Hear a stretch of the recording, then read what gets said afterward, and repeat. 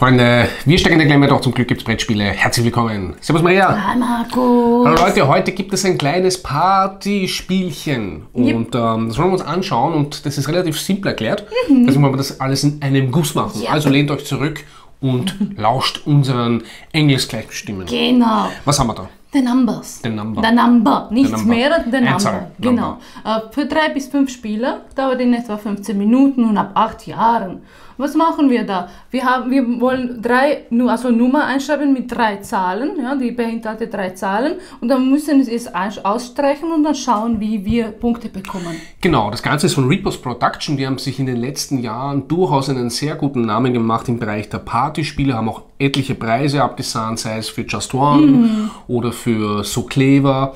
Ähm, Fun Facts war quasi der Titel vom letzten Jahr. Und jetzt haben sie mit dem Number doch etwas, das ein bisschen in eine andere Richtung geht. Ein bisschen ein Glücksspiel, ein Bluffing, sehr trocken ein bisschen, muss man sagen.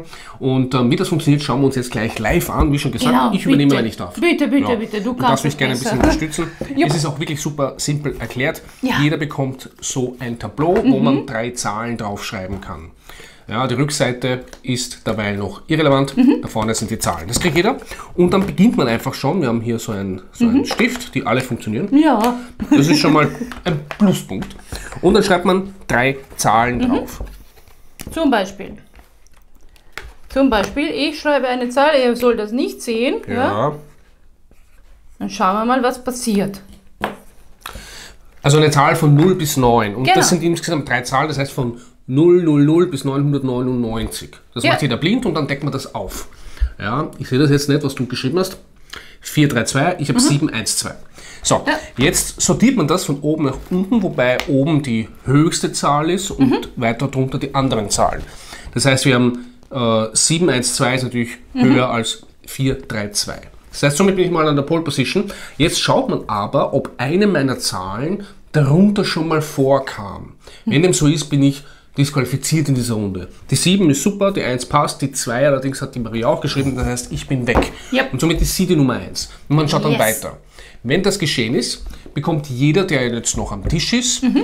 ähm, Punkte. Der, der als letzter ist, der die kleinste Zahl geschrieben hat, der ist sowieso am Tisch. Die davor können ebenfalls am Tisch sein, wenn ihre Zahl darunter nicht vorkommt. Mhm. Und dann kriegt man Punkte. Welche Punkte kriegt man? Yep. Man kriegt einmal immer die erste Zahl. Das heißt in dem Fall die 4. Die Maria hat einmal 4 Yep. Punkte. Ich hätte 7 gehabt, wenn. Mhm. Ne? Hättest du. Zusätzlich, wenn man die höchste, höchste Zahl in dieser Runde hat, also in dem Fall wäre das die Maria mit 4, bekommt sie noch einmal Punkte von der jeweiligen Runde. Also es war die erste Yes. Runde, macht sie 5 Punkte. Ja. Wäre das die letzte Runde, würde die erste Zahl verdoppelt werden. Das heißt, es wären 8 Punkte.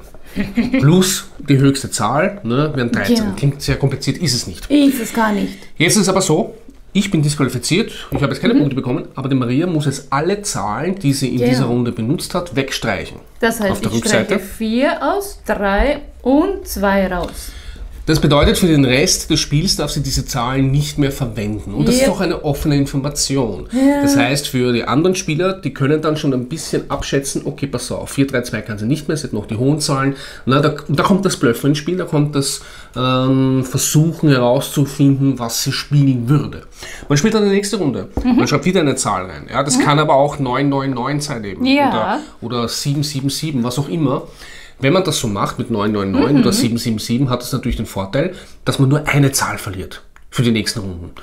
Aber das hat natürlich auch den Vorteil, dass man, ich sag mal, es sind nicht drei Zahlen, die einem erwischen können, sondern nur eine. Ja, also es hat alles ein Für und Wider. Und da spielt man eben dann die Runden durch und am Ende zählt man die Punkte zusammen. Ja. Und wer dann die meisten Punkte hat, ist der Gewinner von dem Number. Yes, gut erklärt. Gut, ja, vielen Dank. Ich hab's Dankeschön. verstanden. Schau. Na schau. Manchmal hört man gerne ein Lob. Ja. Nun, apropos Lob. Kommen wir mal zu dem Spiel selbst. Genau. Die Verpackung selber, das Aussehen, okay. finde ich auch ganz gut. Ich finde es sehr toll, dass sie hier diese Kästchen, Mhm. die haben sie ein bisschen so, kann man sagen, Ausgestanden, nicht aus, aus er- erhoben oder runtergebracht. Also, Gegenteil von erhoben, ja, genau. erniedrigt. Nie, niedrig. Nein. Nein, auf alle Fälle, das Rundherum ist erhoben, somit Ja. hast du hier so kleine Einsparungen. Einsparungen. Das bedeutet nämlich, weil wenn ich die Zahlen da drauf schreibe und dann am Tisch lege, sind die Zahlen geschützt. Das Mhm. Ja. heißt, wenn ich dann reibe, unabsichtlich reibe, gehen ja. die nicht weg. Also Produktion, muss man sagen, ist gut. Es ist gut, ja. Ist sehr, die sehr Stifte, Gott sei Dank, funktionieren alle. Ja, Weil das, wir haben das so ein passt Unglück. Alles. Ja, ja. Also man hat auf uns gehört. Ja. Na schau, wir haben durchaus Einfluss. wir entscheiden, was im Business passiert. Nein. Ja. Ähm, zum Spiel selbst. Es ist eine gute Idee, aber dieses Gefühl von ja cool oder ja spaßig äh, kommt halt nicht. Ja? Ja. Also wenn man das als Partyspiel bewerben würde, ja, dann würde ich sagen, es ist für mich kein Partyspiel. Wenn man das als, als Fehler bewerben würde, dann würde ich sagen, ja, ist cool, ja, aber trotzdem ist es irgendwie so, weil diese Meta-Ebene, Ja. ist für mich einfach zu, zu stark und zu, zu tinky und zu, was macht er und was soll ich, also man darf nicht einfach so blöd die Zahlen hinschreiben, man muss schon nachdenken, was man macht und das muss man gut machen. Und dann ist es für mich zu tinky, zu, Ja. zu, zu, zu nachdenklich. Ja. Für mich, man muss, man muss dazu sagen, ich bin nun mal Hobbyist.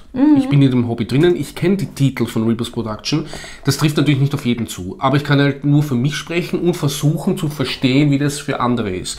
Für mich, ich kenne nun einmal ähm, Just One und ich kenne So Clever und die finde ich um Welten besser. Ja. Um Welten. Das hier ist mich eher eine Art Aktivität, eine nette Idee, wo es ein Spiel vielleicht gar nicht gebraucht hätte, weil das kann man auch mit einem Zettel machen und mit Ja. einem Stift.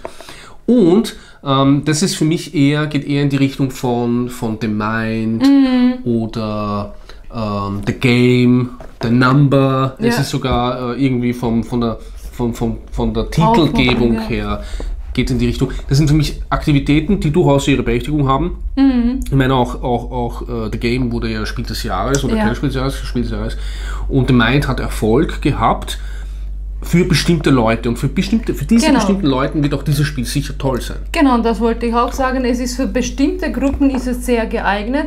Wenn man zum Beispiel, es gibt Leute, die Partyspiele nicht sehr mögen, ja, trotzdem aber in einer Gruppe spielen möchten und äh, dabei diese bisschen diese Interaktion haben möchten. Für die ist es super. Also für ein Party, wo man halt äh, äh, Leute haben, die eher ruhiger sind, eher kalmer, also eher wirklich äh, die nicht ja. dieses oh Party, Ja, sondern ja, ja, ja. komm, äh, ein bisschen ruhiger. Für die ist es perfekt. Ja, für die, wenn man das denen hinlegt und kommt, wir haben was Nachdenkliches und du musst jetzt, du wirst dich danach clever fühlen, weil das bringt das Spiel. Wenn, wenn man das gewinnt, dann fühlt man sich clever. Wenn man verliert, dann denkt man sich, ach, wieso? Ja, aber man fühlt sich nicht so clever. Nein. Weiß ich. Was man aber schon sagen muss, es ist eine Aktivität, die für mich einfach zu wenig bietet. Da gibt Ja. es für mich andere Spiele und das muss ich nun mal mit anderen Spielen auch vergleichen lassen. Denn wenn ich jetzt einen Absacker suche oder wenn ich jetzt einfach, okay, pass auf, wir haben jetzt da einen Brecher gespielt, jetzt spielen wir als größere Gruppe ein Spiel. Größere, das sind fünf Leute maximal und damit schon sehr chaotisch. Da gibt es für mich einfach Titel, die viel, viel besser sind. Ähm, Du hast die Metaebene angesprochen, die existiert natürlich und sowohl. Ähm, wenn ich merke, dass die Maria immer gerne nur eine Zahl verwendet, Ja. Dann, dann kann ich damit was anfangen. Oder wenn ich merke, dass die Maria mit, mit kleinen Zahlen beginnt und gegen Ende dann die großen Zahlen rausholt, aber nicht unbedingt die ganz großen, ja, dann weiß ich, wie sie tickt. Genau. Und wenn sie aber merkt, dass ich weiß, wie sie tickt, kann sie das dann auch adaptieren. Ähm, das heißt, es ist schon eine Ebene da, die mag reizvoll sein. Für mich ist es zu wenig. Ja, also für mich ist es dann wieder zu viel. Ja, okay. Weil, weil, weil ich bin halt eine, ein, ein direkter Mensch, ich äh, spiele so, wie ich spiele und dann denke Ja. ich immer, ah, also er weiß das, aber was soll ich jetzt dagegen machen? ja. Soll ich jetzt das umändern und wie soll ich das um Und dann wird das für mich zu viel, für das kleine Spiel. Ja, was halt auch ist, und das ist halt dann mein letzter Punkt, der für mich dann einfach nicht mehr spaßig ist, viele Dinge sind dann einfach schon aus dem Kontext einfach logisch. Wenn es die letzte Runde ist Ja, und ich habe meine sieben schon verwendet und die Maria hat ihre sieben schon verwendet, dann wird der Tim, weil er das sieben hat, die sieben nehmen und zwar an erster Stelle, weil er kriegt dann doppelte Punkte. Wenn wir vielleicht zum Beispiel die 8 und 9 auch schon verwendet Ja. haben, dann weiß er, es kann ihm nichts mehr passieren. Er nimmt dann idealerweise 7, 7, 7, weil das ist einfach perfekt für ihn. Er kriegt dann 14 Punkte plus 5, das ist dann schon ein Wahnsinn. Und du kannst nichts dagegen tun. Und das ist jetzt nicht so, wo du sagen könntest, naja, aber vielleicht nimmt er doch die 5. Warum sollte er das tun? ja, eh. Er weiß, dass er damit gewinnt. Genau. Punkt. Und das passiert sehr, sehr oft. Und das ist halt dann auch etwas, was du im Vorfeld auch nicht wirklich äh, großartig verhindern Mhm. kannst. Ja. Und, und ähm, das mag vielleicht lustig sein, Mhm. ah, für mich eher nicht so. Ja. Unterm Strich. Unterm Strich habe ich ja schon gesagt, für mich ist es zu meta. Ja. Äh, Partyspiel würde ich es nicht eher einreihen, ich würde es eher als Spieler ein, Mhm. einreihen. Äh, Partyspiel nur in dem Falle, dass die Gruppe passt. Ja. also dann würde ich sagen, ja, kommt, spielt das, ist Ja. ein bisschen zu nachdenklich für ein Partyspiel und deswegen. Ja, ich sehe da die Zielgruppe für Leute, die einfach irgendwo sind, ein Mhm. x-beliebiger Ort, sei es am Strand, sei es jetzt in einer Bar von, Ja. von, einer, von einer Therme, sei es jetzt am Campingausflug, auf einem Festival, sei es bei einem Grillabend Mhm. und man möchte für 5, 10 oder 15 Minuten, weil viel länger dauert das nicht, einfach ein Ja. kleines Spielchen nebenbei spielen, das sehr robust ist, das nicht viel braucht, dann ist das wahrscheinlich ideal für diese Menschen. Für mich ist es das nicht. Ähm, wenn ich an solchen Orten bin, dann spiele ich eigentlich relativ wenig. Ja. Und wenn, dann gibt es noch immer andere, coolere Sachen. Für mich jetzt, ähm, ich sehe es au- aus der Sicht eines, eines Hobbyisten, Ja. da ist mir das zu wenig. Und vor allem in Rück, äh, äh, vor allem in, in Hinblick auf den Publisher, wo ich wirklich immer wenn sie ein, ein neues äh, äh, ähm, Partyspiel rausbringen, bin ich wirklich begeistert. Ja. Und die, die sind auch Wahnsinn. Ja? Wenn man in Essen die, die, diese, diese Werbung, die sie machen, rennen diese zwei Typen mit der Sombreros herum, machen nur Spaß den ganzen Tag. Ja. Einfach toll. Das spricht nicht dem Spirit von Rebus Production. Hm. Wenn ich an Rebus Production denke, dann denke ich an einen anderen Spirit und das ist dann eher schade für mich. Deswegen, ja, wenn es nie wieder Spiel soll so sein, es hat seine Zielgruppe. Ja, na, natürlich. Das Und für die ist es toll. Ja. Ja, aber vielleicht sind es nur wir so, vielleicht seht ihr das komplett anders, vielleicht haben wir etwas total übersehen. Kann natürlich sein. Dann schreibt uns das in die Kommentare. Wie gefällt euch das Spiel? Wo kommt es bei euch äh, gut an? In welcher Situation? Wo seht ihr da die Stärken und die Schwächen? Vielleicht teilt ihr auch unsere Meinung. Dann ist das ja auch toll. Ne? Ja. In diesem Sinne, bis zum nächsten Mal. Tschüssi, Gato!